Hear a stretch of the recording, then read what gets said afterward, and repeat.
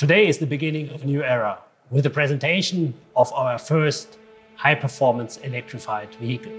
Now I will show you the main details and features of this fantastic drivetrain. Our legendary V12 meets a performance-oriented hybrid system, resulting in a maximum reactive and sharp and emotional drivetrain. Thereby, the V12 has been rotated by 180 degrees resulting in a completely new architecture.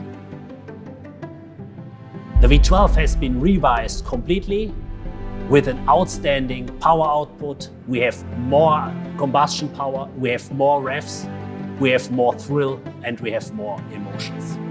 The overall power output is more than 1000 CV.